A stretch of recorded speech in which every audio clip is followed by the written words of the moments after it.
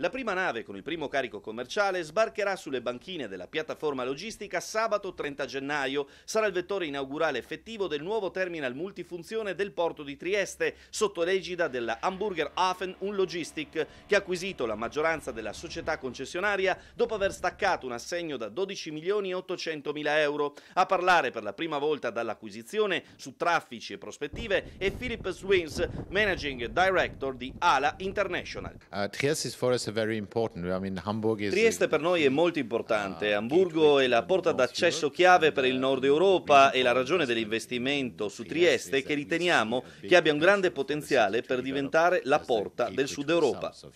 Dunque la domanda crescente sul porto di Trieste e i vettori sui quali si sta lavorando per dare sostanza operativa al progetto.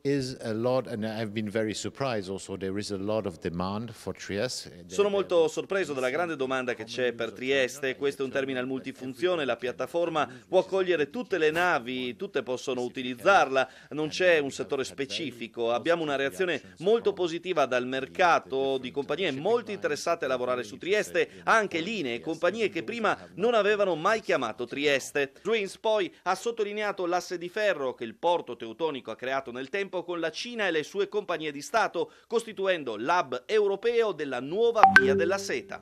Uh, we have very good relationship with uh, Chinese companies, with uh, Costco, with China Merchant. Abbiamo relazioni molto buone con le compagnie cinesi, dalla Costco alla China Merchant e chiaramente lavoriamo per cooperare con loro e sviluppare i trasporti in arrivo dall'est, Cina o Asia che sia, all'Europa, ovviamente per il futuro.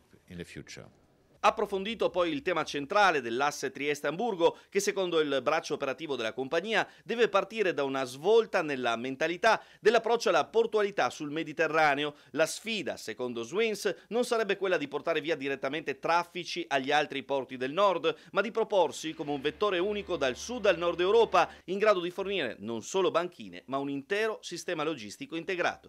It, it, the, the il mercato sta cambiando, lo sviluppo tra nord e sud delle linee sta cambiando, le compagnie si stanno muovendo sempre più sul Mediterraneo, quindi la strategia non è di portare via traffici al nord Europa, ma di avere porti complementari a sud e a nord e avere contemporaneamente un sistema di trasporto efficiente dai porti all'interno del continente.